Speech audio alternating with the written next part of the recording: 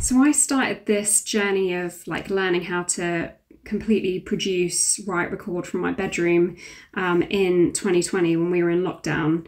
And in order to do that, you know, I had to kind of take a lot of um, online courses and I was on YouTube all the time, like learning from other creators and um, things like that. And my advice to anybody kind of starting out in, in any field is like the internet is such a you know um, amazing resource for learning.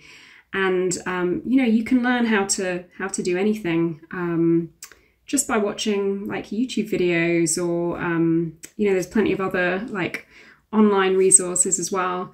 And you know in that time as well like i learned how to um, do like self portrait photography for my like single cover art and things like that and, and learn how to use Photoshop and, and things like that. And it's all possible just by like using um, free resources online. So, you know, I, I really believe that if you want to learn how to do anything, you can pretty much um, find that information out on the internet.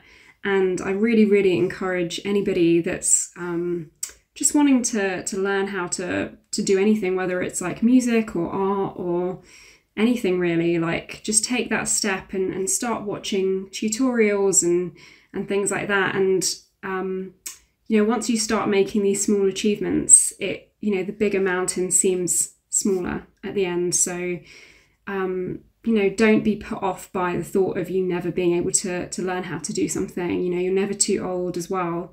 Um, just you know go online find out how to do it and, and start working towards those dreams